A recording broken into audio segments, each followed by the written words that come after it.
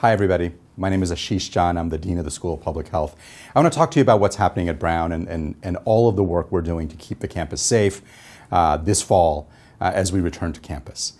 So, over the last 18 months, we've learned a lot about this virus. And now, Brown has done extraordinary work to create a safe environment. We've got almost everyone vaccinated. All the buildings have had upgrades in ventilation.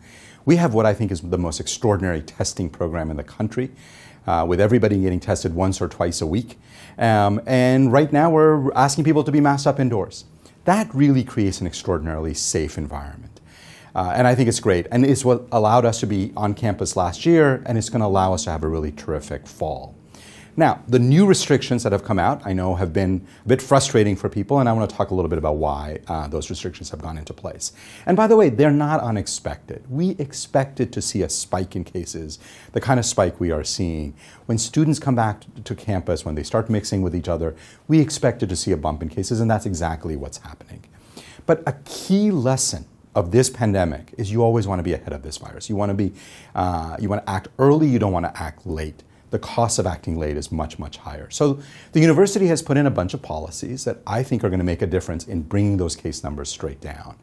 Um, what are those policies? You know, you know that the virus spreads when large numbers of people gather indoors unmasked. Well, the grab and go policy is a way to say, let's not eat indoors for a while.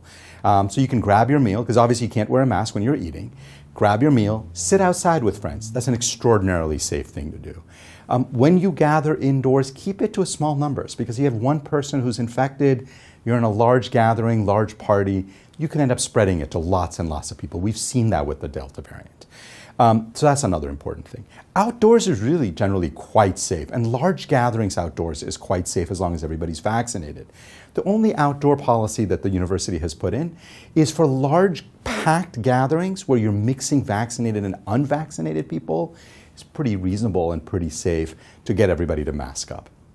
Um, not because we think there's a lot of spread outdoors, but when you're mixing with unvaccinated people, there is a bit of a risk. So these are the major policies. Obviously, we're also updating our testing, being a little bit more aggressive.